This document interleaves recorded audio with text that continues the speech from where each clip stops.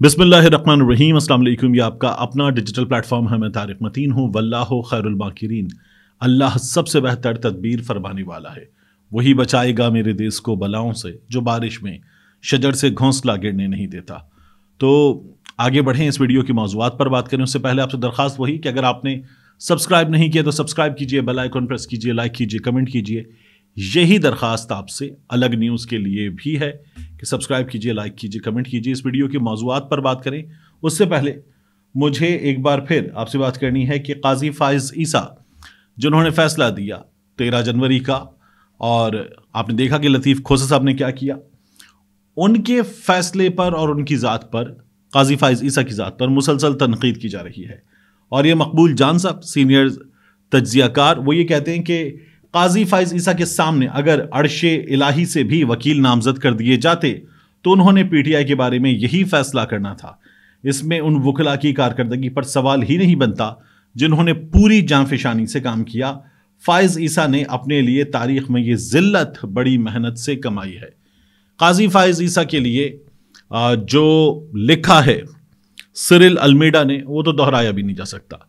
Cyril Almeida साहब ने उनके लिए जो लिखा उसमें इंग्लिश में एक गाली लिखी और उन्होंने कहा कि आपको जो यानी कुछ इस तरह की बात की कि अपने वर्ड्स को आप दबा के या जेर लब ना रखें उनको अदा करें। बड़ी तनकीद हो रही है उन पर भी। आ, लेकिन जो उन्होंने कहा है वो बड़ा सख्त है मगर उन्होंने कह दिया है। अब जो शेर अफजल मरवत और रऊफ़ हसन पाकिस्तान तरीके इंसाफ के तर्जुमान रऊफ़ हसन और सीनियर नायब सदर शेर अफजल मरवत। इनके दरमियान जो कुछ हुआ, उसकी बात करें तो बड़ा सोशल मीडिया पर डिस्कस हो रहा है। रऊफ़ हसन ने एक टेलीविज़न इंटरव्यू दिया और वो इंटरव्यू और इस इंटरव्यू में जो कुछ कहा गया, उस पर फौरी रात गए रिएक्शन दिया शेर अफजल मरवत ने। इसकी बात करते हैं। इसके अलावा जो मुझे इंटरव्यू में शेर अफजल मरवत ने आरिफ अलवी के बारे में बात की थी उस पर सदर ममलिकत आरिफ अलवी का जवाब आया। उस जवाब की भी बात करेंगे। और अडयाला में कौन बीमार हुआ? फ़ौरन लेकर हॉस्पिटल भागना पड़ा। अभी इसकी भी इस वीडियो में बात करते हैं। सबसे पहले रऊफ़ हसन और शेर अफजल मरवत। शेर अफजल मरवत बहुत खुले डुले आदमी है। वो जो होता है दिल में, कह देते, रुकते ही नहीं है। आसरा नहीं करते, ज़ीरो आसरा।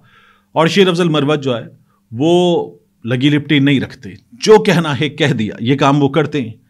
ये काम उन्होंने आ, किया आरिफ अलवी के मामले में। मुझे इंटरव्यू देते हुए उन्होंने आरिफ अलवी के बारे में बात की। इसके अलावा वो पाकिस्तान तहरीक इंसाफ की जानब से बात करते हुए इमरान खान साहब से मुलाकात के बाद उमर ने अजीज़ा उनके साथ थे तो मुलाकात के बाद वो काजी फाइज ईसा साहब पर चीफ जस्टिस पर अदम अतमाद का भी इजहार कर गए थे। फिर उसके बाद आज मेरी बात हुई इमरान खान साहब के एक वकील से और ये मैं बतौर गवाही आपको बता रहा हूँ।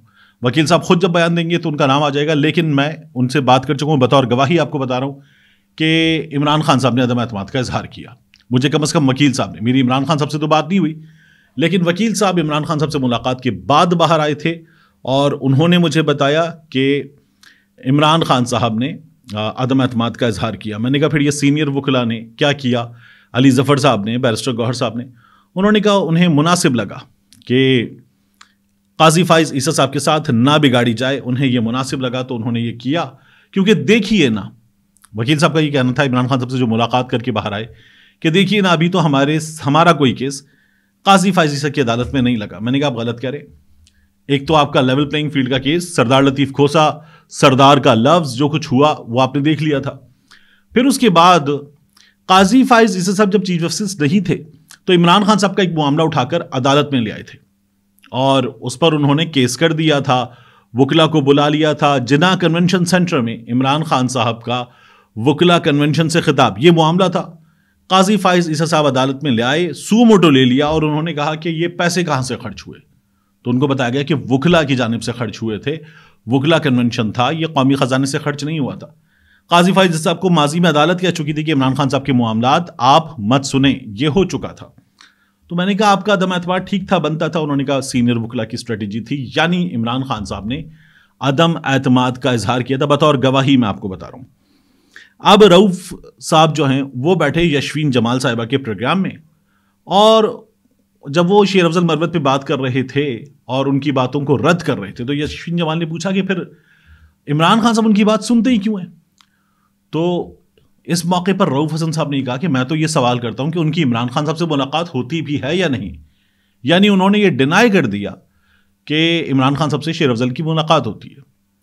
अब शेर अफजल मरवत साहब जो हैं, उनके बारे में बात कर रहे थे वो और उन्होंने फिर ये भी कहा कि मैं कई दरखास्तें दे चुका, दीगर लोग दे चुके, इमरान खान साहब से मुलाकात नहीं होती। तो मेरा तो ये सवाल है कि इमरान खान साहब से मुलाकात होती भी है या नहीं होती? फिर सवाल हुआ कि आप बैरिस्टर गौहर से गए वो बता दें। उन्होंने कहा, कई दफ़ा बैरिस्टर गौहर जो बात करते हैं, वो मुख्तलिफ़ होती है, इसकी गवाही मैं आपको दे चुका। अब जब रऊफ हसन साहब ने ये बात की तो शेर अफजल मरबत साहब जो हैं, वो अंदरून सिंध गालिबा टंडू मोहम्मद खान के आसपास कहीं मौजूद थे। वो अपनी गाड़ी की सनरूफ से बाहर आए, उन्होंने खिताब किया और शेर अफजल मरबत साहब ने रऊफ हसन साहब को लोमड़ी का भी खिताब दिया।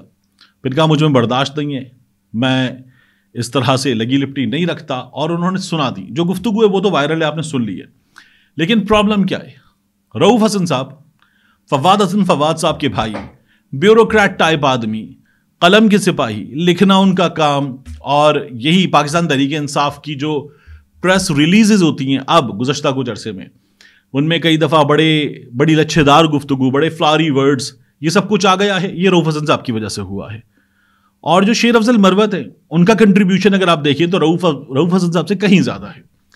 यानी एक ऐसे मौके पर कि जब पाकिस्तान तहरीक इंसाफ के अपने लोग रूपोश हैं, एक ऐसे मौके पर कि जब कोई खड़ा होने को तैयार नहीं है, शेर अफजल मरवत ने खैबर पख्तूनख्वा में पाकिस्तान तहरीक इंसाफ को पूरा खड़ा कर दिया। वर्कर्स तैयार थे लीडरशिप छुपी हुई है। लीडरशिप रूपोश है और शेर अफजल मरवत इन हालात में पुलिस लाठी मार रही है, गोली चला रही है पुलिस सड़क पे रुकावटें खड़ी कर रही है, नहीं जाने दे रही, पानी छोड़ रही है इन हालात में और गिरफ्तारी के लिए तैयार है। शेर अफजल मरवत जो है, वो शहर शहर पहुँचते हैं, पहुँच के वर्कर्स कन्वेंशन करते हैं और पाकिस्तान तहरीक इंसाफ का सीन ऑन कर देते हैं। ये उन्होंने खैबर पख्तूनख्वा में किया। फिर उन्होंने पंजाब में अटैम्प्ट फिर वो सिंध पहुँचे, कराची पहुँचे। कराची में जो सीवीयू पे हुआ, पाकिस्तान तहरीक इंसाफ नौ मई के बाद चंद लड़के भी बाइक्स पर निकलते हैं तो पकड़ लिए जाते हैं। वहाँ शेर अफजल मरवत ने हज़ारों का मजमा जमा किया, उससे खिताब किया, करके दिखाया। फिर शेर अफजल मरवत महेसर हाउस पहुँचे। जब वहाँ पहुँच रहे थे तो पुलिस अपनी कार्रवाई दिखा रही थी, लेकिन वो महेसर हाउस पहुँचे। वहाँ पहुँच के उन्होंने खिताब किया और फिर उसके बाद वो शहर में एक से दो इवेंट्स के सिलसिले में गए। और रऊफ हसन साहब, एक बात समझ लें। आपको तो पाकिस्तान तहरीक इंसाफ के लोग अभी जानते हैं, शेर अफजल मरवत को अभी जानते खुद जरा निकले बाहर। आटे दाल का भाव पता चले आपको कि आपकी और शेर अफजल मरवत की हैसियत क्या है। आपने जिन इलाकों का रऊफ हसन साहब नाम भी नहीं सुना होगा ना नाम भी नहीं सुना होगा। शेर अफजल मरवत उन इलाकों में गए और वहाँ पर उन्होंने वर्कर्स कन्वेंशन किए ठीक है? बंदा अक्खड़ मिजाज होगा, बंदा गुस्से का तेज होगा, लगी लिपटी नहीं रखता होगा, बोल देता है जो दिल में आता है। लेकिन आप ये देखिए कि पाकिस्तान तहरीक इंसाफ जो उनके उस बयान पर जहाँ अदम एतमाद किया, या शेर अफजल मरवत का अब का बयान आरिफ अलवी के बारे में। पाकिस्तान तहरीक इंसाफ डिसग्री करती है इस आदमी से, आप डिसग्री करते हैं। तो इतनी इतनी सी चीज़ों पर, शेर अफजल मरबत टंडो मोहम्मद खान में, शेर अफजल मरबत मीरपुर खास में, शेर अफजल मरबत हैदराबाद में, शेर अफजल मरबत कराची में, N A two four one में, एन ए फलाने में, कराची यू ब्यूटी, शेर अफजल मरबत की वीडियोस के साथ।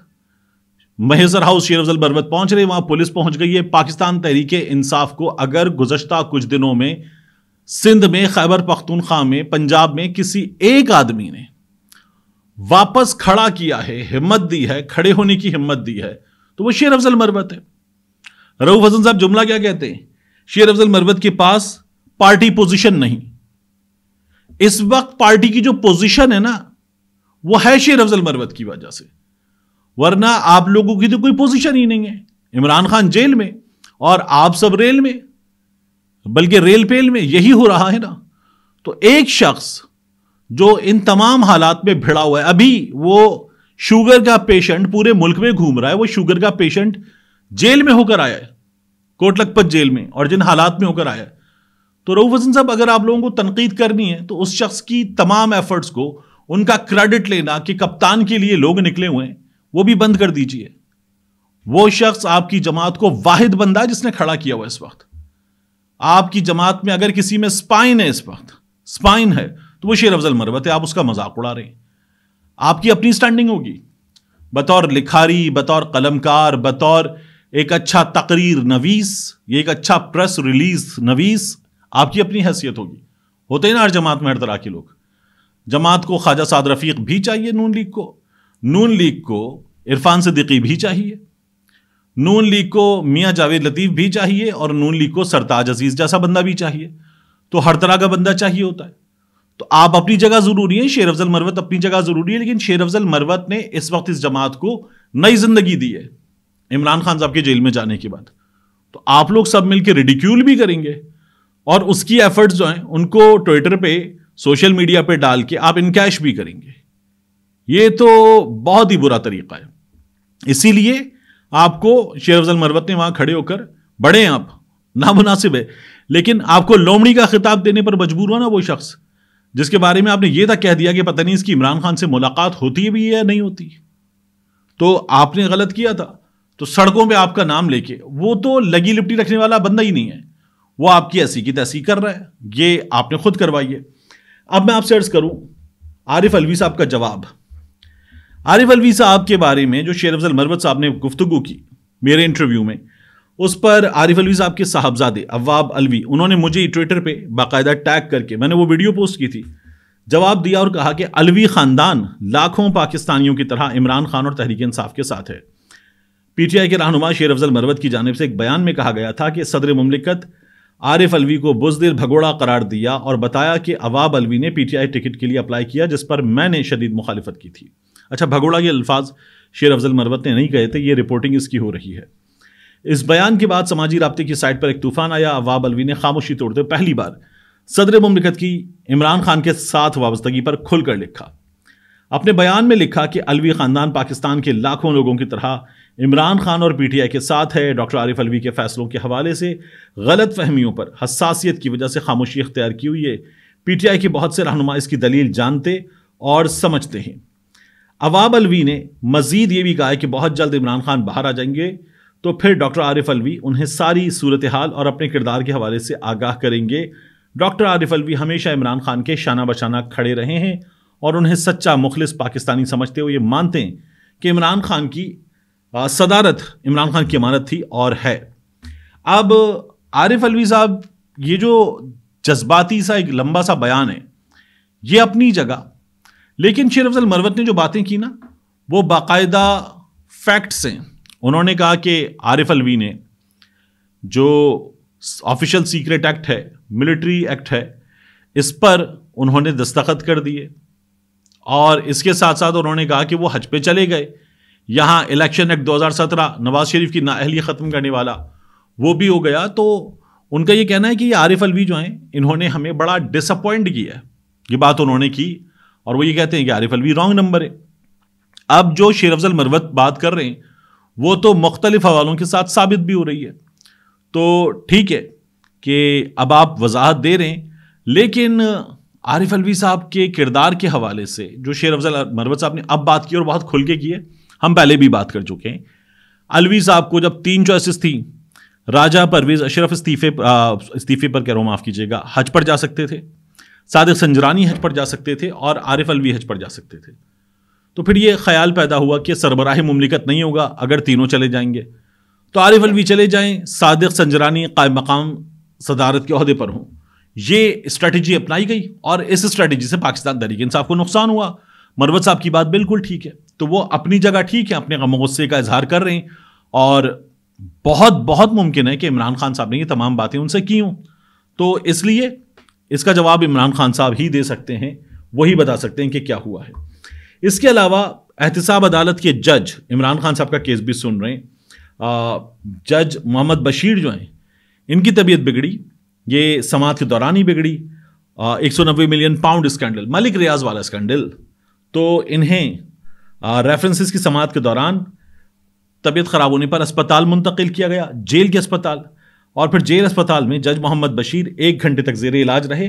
फिर डॉक्टर ने तबीयत में बेहतरी के बाद उन्हें घर जाने की इजाज़त दे दी। ये उनके साथ हुआ है। सोशल मीडिया पर बाज़ लोग इसको एक अलग नग दे रहे हैं कि इमरान खान साहब जब वो सूरतुलमायदा की आयत नंबर पाँच का हवाला दे रहे थे और वो तमाम बातें कर रहे थे तो जज साहब की तबीयत ख़राब हो गई। नहीं, ऐसा नहीं हुआ। जज साहब की तबीयत वैसे ही ख़राब हो गई होगी। ये जो हमारे यहाँ उम्मीद की जाती है कि इसको, इस चीज़ को सुन के इतना फ़र्क पड़ जाएगा ऐसी मिसालें मैंने बहुत कम देखी हैं। मिलते हैं इंशाल्लाह आपसे अगली वीडियो में।